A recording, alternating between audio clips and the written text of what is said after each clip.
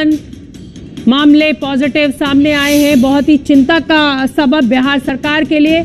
जिस बड़ी संख्या में वहाँ पर प्रवासी मजदूर पहुँच रहे हैं और इस तरह कोरोना मरीजों की संख्या बढ़ना बड़ी चुनौती। निधिश्री झा मेरी सहयोगी, मुझसे ज़्यादा जानकारी लिए हुए जुड़ रही हैं। निधिश्री क्या अपडेट आपके पास?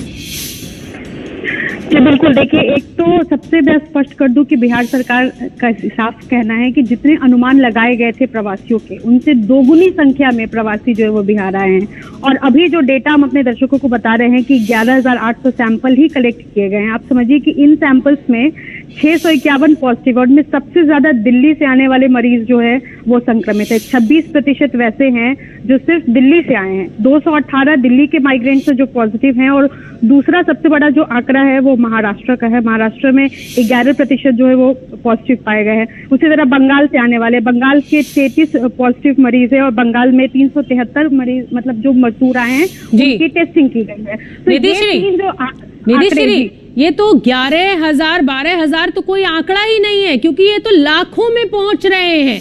ऐसे में टेस्टिंग एक बड़ी चुनौती होगी बिहार सरकार के लिए, उसके मैनेजमेंट के लिए क्या किया जा रहा है?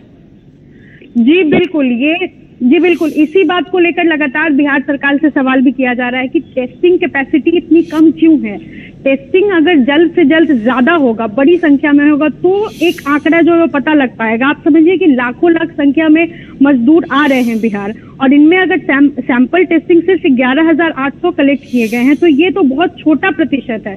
बिहार सरकार के लिए सबसे बड़ी चुनौती यही है कि आंकड़े इसलिए भी कम है क्योंकि सैंपल कम लिए गए हैं। तो जितने सैंपल सबसे पहले तो जल्द से जल्द लिए जाए माइग्रेंट्स के। क्योंकि हम्म। अभी देखिए कि पिछले तीन दिनों में दोगुनी संख्या में बिहार में जो है वो कोरोना संक्रमण के मामले बढ़ रहे हैं। तो सबसे पहले ये सुनिश्चित करना होगा बिहार सरकार को कि जितने माइग्रेंट्स आ रहे हैं बॉर्डर पर उनकी सिर्फ़ स्क्रीनिंग करके उनको नहीं छोड़ा जाए। उनका सैंपल वहीं कलेक्ट किया जाए। इससे एक कहीं ना कहीं एक स्पष्ट अनुमान लग सकता है। तो ये एक चुनौती लगातार बिहार सरकार के लिए बन रही है। बहुत बहुत धन्यवाद निधि श्री झा आप नज़र बना के रखिए। जैसे